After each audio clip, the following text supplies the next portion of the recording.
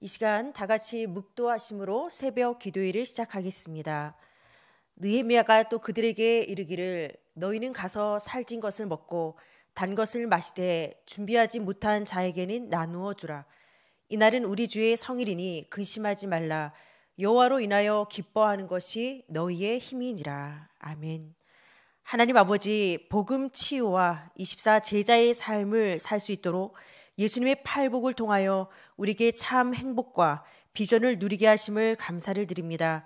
창세기 3장, 6장, 11장에 근거한 복의 옛 틀을 내려놓고 성경적인 새 틀을 입는 새로운 믿음의 도전이 있게 하여 주시옵소서. 우리 구주 예수 그리스도 이름 받들어 기원하옵나이다. 아멘. 오늘 이 새벽에 주시는 하나님의 말씀은 마태복음 5장 1절에서 12절 말씀입니다. 제가 봉독해 드리겠습니다. 예수께서 무리를 보시고 산에 올라가 앉으시니 제자들이 나아온지라 입을 열어 가르쳐 이르시되 심령이 가난한 자는 복이 있나니 천국이 그들의 것이며 애통하는 자는 복이 있나니 그들이 위로를 받을 것이며 온유한 자는 복이 있나니 그들이 땅을 기업으로 받을 것이며 의에 줄이고 목마른 자는 복이 있나니 그들이 배부를 것이며 긍휼히 여기는 자는 복이 있나니 그들이 긍휼히 여김을 받을 것이며 마음이 청결한 자는 복이 있나니 그들이 하나님을 볼 것이며 화평하게 하는 자는 복이 있나니 그들이 하나님의 아들이라 일컬음을 받을 것이며 의를 위하여 박해를 받은 자는 복이 있나니 천국이 그들의 것임이라. 나로 말미암아 너희를 욕하고 박해하고 거짓으로 너희를 거슬러 모든 악한 말을 할 때에는 너희에게 복이 있나니 기뻐하고 즐거워하라. 하늘에서 너희의 상이 큼이라. 너희 전에 있던 선지자들도 이같이 박해하였느니라. 아멘. 지금 이 시간 예수님의 행복 비전 3이란 제목으로 생명의 말씀을 전하겠습니다. 코로나19 확산 방지를 위해서 4주차 온라인 예배를 어, 드렸습니다. 어, 다리 목사님께서도 말씀하셨지만 어, 전에 체험하지 못한 은혜를 더욱 체험하시고 어, 또 이러한 시간표를 통하여서 우리 성도 여러분들이 더 영적으로 업그레이드 되어지는 시간표가 될 줄 믿습니다. 어, 지난 금요 기도회 때 어, 담임 목사님께서 어, 성도님들을 굉장히 보고 싶어 하시는 그 마음을 전달하시면서 어, 예배는 어, 하나님 앞에 참으로 아름다운 축복이다라고 말씀하셨습니다. 하루속히 4월 첫 주부터 우리 본당 예배가 회복될 수 있도록 또 함께 기도해 주시기를 바랍니다. 지금은 기도의 시간표고 또 금요 기도의 말씀처럼 모세처럼 우리 성도 여러분들이 기도의 승부사가 되시기를 바랍니다. 하나님의 시간표 속에 코로나가 반드시 종식이 될 것이고 이 모든 상황까지도 하나님이 합력하여 선을 이루실 뿐만 아니라 어, 더 나아가 더큰 어, 영적 부흥의 시간표로 인도해 주실 줄 믿습니다. 어, 그런데 안타깝게도 이 코로나 확산에 일부 교회들이 문제가 되어지고 있습니다. 인포데믹 현상, 정보 감염증, 즉 잘못된 정보를 올바른 정보처럼 착각하는 현상으로 어, 성, 어, 이 성남의 모 교회가 어, 소독 안 한 이 분무기로 입안에 성도들에게 그 소금물을 뿌려주는 일이 있었습니다. 지금 이 시대는 세상이 불신자들이 교회를 걱정하고 교회를 조롱하는 시대를 우리가 살아가고 있습니다. 그뿐만 아니라 영적인 인포데믹 현상의 대표 집단이 어디냐? 바로 신천지. 그들은 철저히 그들의 정체를 숨기는 모략 전도를 통하여서 치밀한 시나리오를 짜고 또 각종 다양한 위장 단체를 활용해서 사람들을 포섭하고 있습니다. 따라서 우리가 신앙생활을 하면서 절대로 이 거짓 정보에 현혹되어서는 안 된다는 것입니다. 예수가 그리스도, 바로 이 복음의 참 진리 가운데 굳건히 서서 매주 선포되어지는 강단 말씀을 통하여서 오직 그리스도, 오직 하나님 나라, 오직 성령 충만 속으로 들어가시는 우리 예언의 귀한 성도님들이 되시기를 바랍니다. 이번 주 강단을 통해서 이제 세 번째로 팔복의 메시지를 우리가 받았습니다. 이 산상수훈 메시지는 예수님의 교훈 중에서 가장 핵심적인 부분을 어, 요약한 바로 천국 시민의 윤리 강령이요 또 천국의 대헌장과 같습니다. 어, 특별히 본문 1절에서 12절 말씀은 산상수훈인 이 마태복음 5장 전체의 서론에 해당이 되어지는 본문입니다. 일관되게 복이 있나니라는 구절로 연결되어 있습니다. 팔복은 우리에게 축복을 선언하는 동시에 우리 삶에 있어서의 중요한 명령이고 훈계인 것입니다. 심령이 가난한 자, 애통한 자, 온유한 자, 의에 줄이고 목마른 자. 지난주까지 우리가 받았던 이 네 가지가 바로 하나님과의 어, 하나님과 나와의 바로 이 수직 관계 속에서 누릴 영적인 자세라면 오늘 바로 이 말씀은 다른 사람과의 수평 관계 속에서 바로 이 팔복을 함께 나누라는 것입니다. 어떤 이는 어, 이 팔복을 구약의 십계명으로 비유하기도 합니다. 십계명이 출애굽한 이스라엘 백성에게 주신 성결의 법이듯이 팔복은 하나님의 자녀로서 하나님의 자녀가 이 땅에서 어떻게 살아가야 하는지 가르쳐 주시는 바로 기독교의 핵심 가치이기 때문입니다. 서기관들의 율법 해석과 또 바리새인들의 삶의 방식, 그들의 옛 틀을 넘는 새로운 패러다임이 바로 이 팔복을 통하여서 제시되고 있습니다. 자, 그렇다면 우리가 누릴 진정한 진짜 행복은 무엇입니까? 행복으로 가는 지름길을 알려주는 내비게이션. 바로 이 본문 말씀을 통하여서 예수님의 행복 비전으로 여러분들이 각인, 뿌리, 체질화 되셔서 환경과 모든 문제를 초월하는 절대 평안, 절대 감사, 절대 기쁨과 절대 행복을 누리시기를 주님의 이름으로 축원합니다.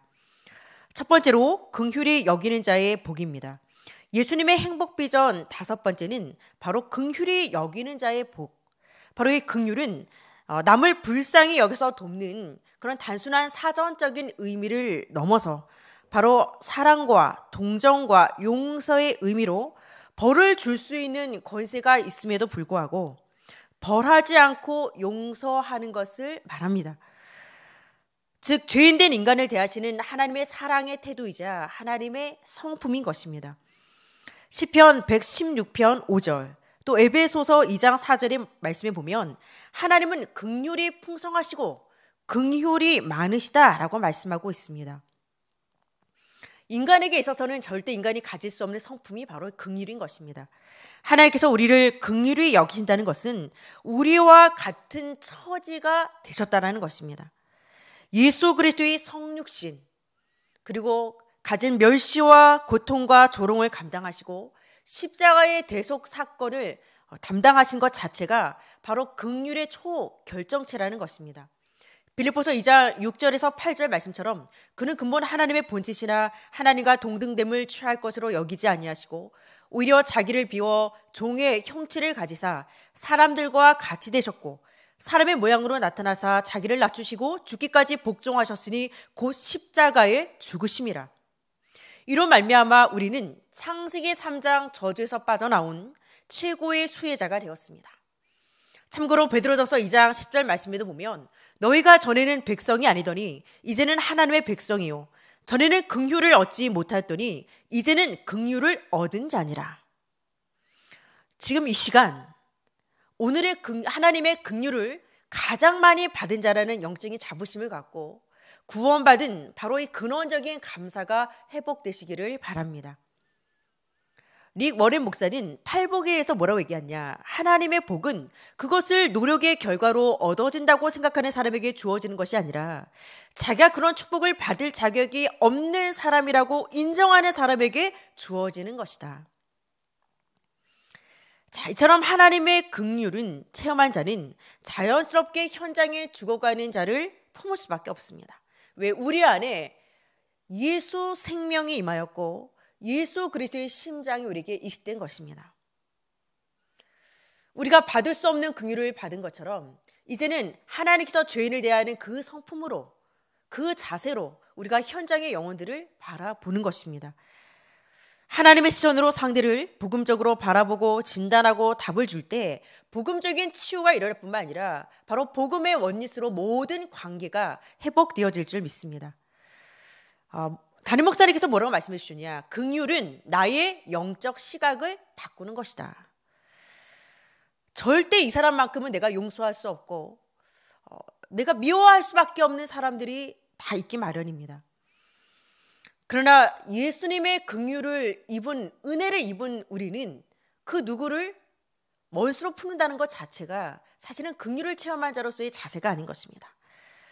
자, 팔복. 예수님의 여덟 가지 성품이기도 합니다.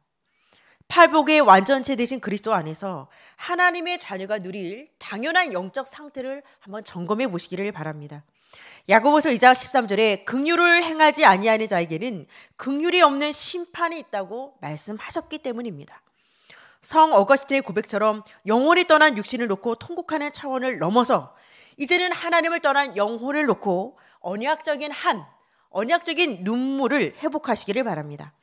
지난주 금요 기도회 때 결론에 목사님께서 어, 인천 중학교회의 그 전도왕이었던 안강자 이 권사님에 대해서 말씀해 주셨습니다. 자그마치 20년이나 시간 동안 7만 명을 전도했습니다.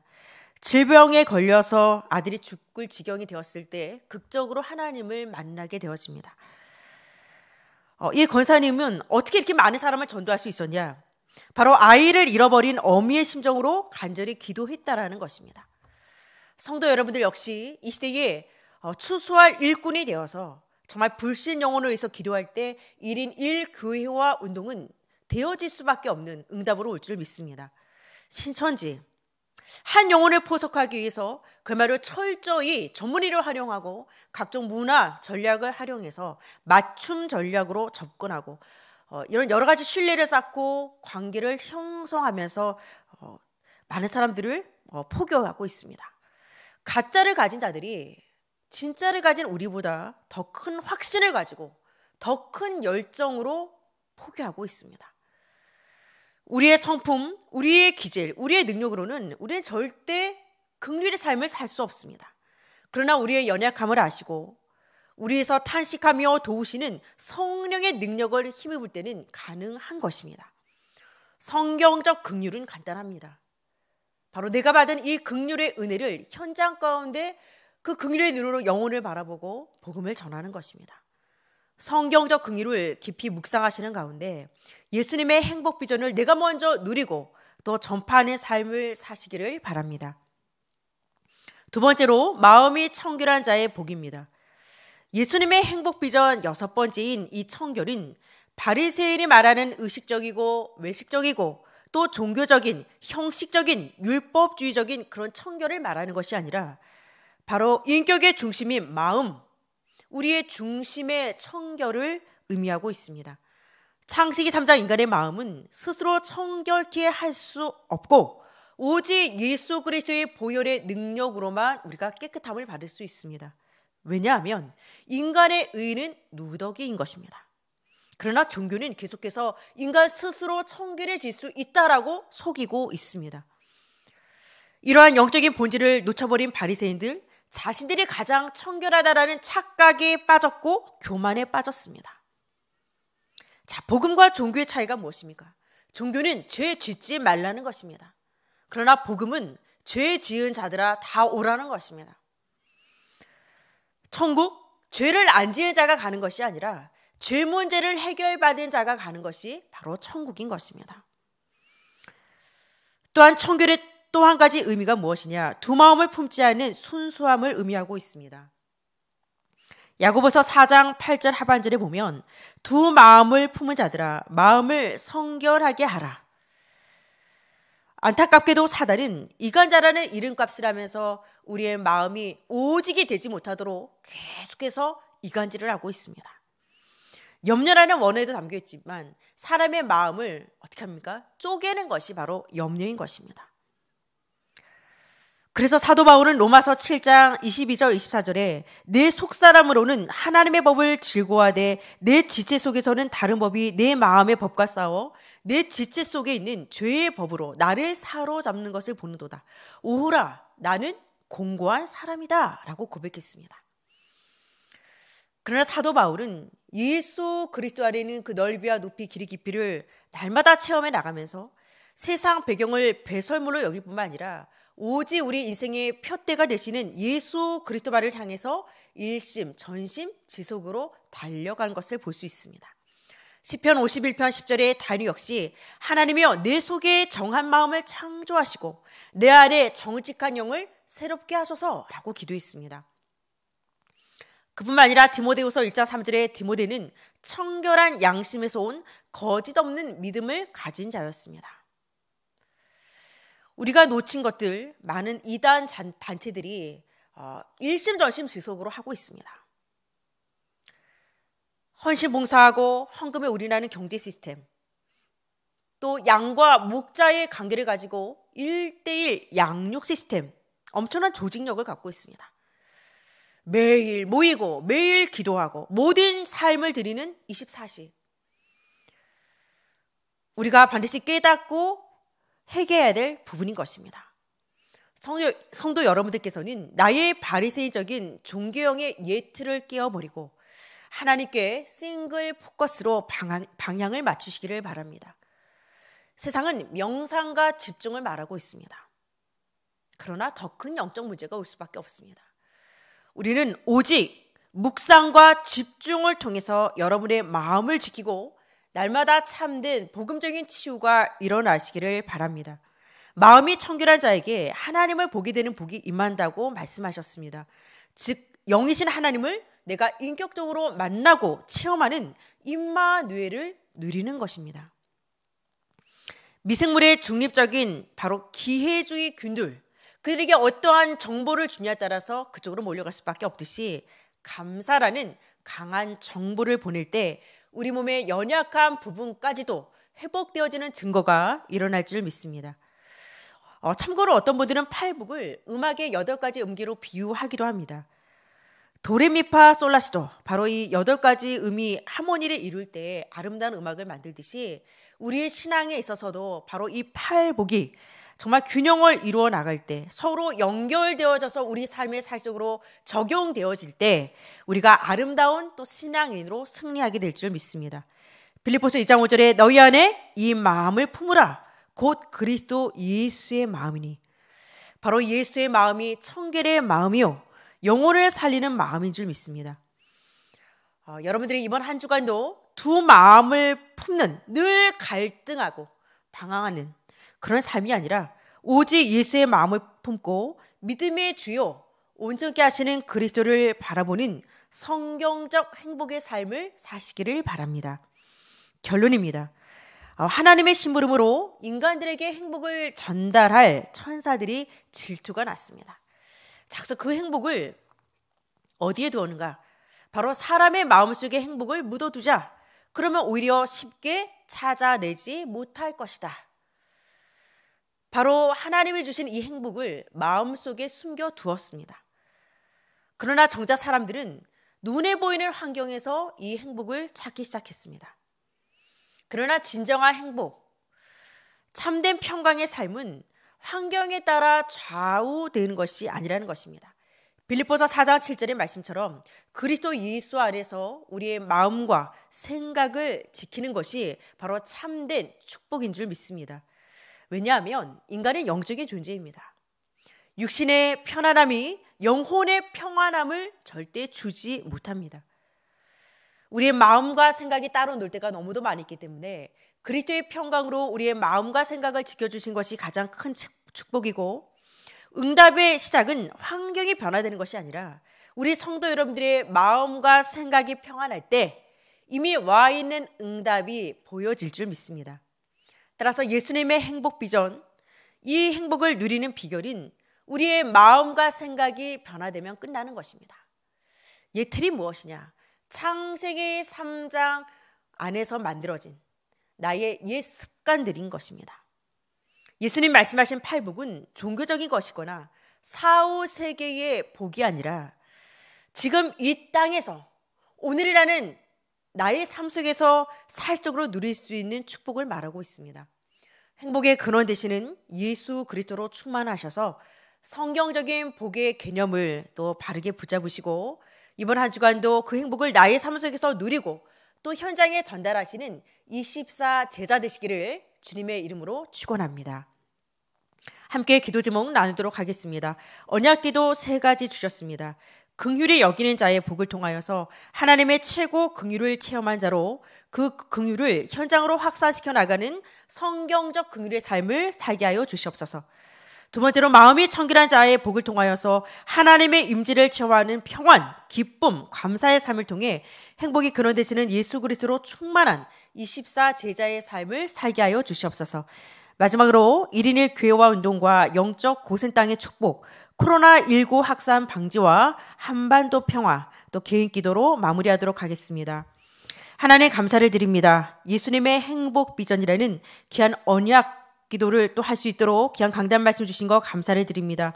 긍휼을 여기는 자의 복과 또 마음이 청결한 자의 복을 누림으로 말미암아 환경과 또 세상에 줄 수 없는 절대 행복을 누리며 이제 행복의 근원 되시는 예수 그리스도로 충만한 24 제자의 삶을 살아가게 하여 주시옵소서. 특별히 우리 예원교회를 하나 축복하여 주셔서 지역과 민족과 세계 237 나라를 살리는 대표적인 교회로 또 영적인 부흥 운동의 주역으로 축복하여 주시옵소서. 우리 정원주 다리 목사님께 성령 충만함과 오력을 더하여 주시고 4월 첫 주부터 본당 예배가 회복되어지게 하시며 우리 성도들 모든 가정 가정마다 매일 가정 예배가 회복되어지게 하여 주시옵소서. 특별히 성도들 각 개개인에게 건강 허락하여 주시고 우리 렘너트들 축복하여 주셔서 나태함 속에서 벗어나게 하시고 특별히 하나님께서 그 삶을 지켜주시고 학업을 지켜주셔서 여덟 번째 렘너트로 서게 하여 주시옵소서. 특별히 파송 협력하고 있는 우리 예원의 선교지와 선교사님들 축복하여 주시고 우리 본당 헌당을 축복하여 주시옵소서. 특별히 우리 성도들의 생업이 위축되지 않도록 우리 산업인들과 생업을 축복하여 주시고 경제가 회복되어지게 하여 주시옵소서. 오늘도 중요한 개인의 기도 제목들을 들고 나온 우리 성도들 하나님 그 기도에 응답하여 주셔서 이번 한 주간도 우리에게 주신 예수님의 행복 비전을 마음껏 누릴 수 있도록 축복하여 주시옵소서. 우리 구주 예수 그리스도의 이름으로 축복기도 올리옵나이다. 아멘.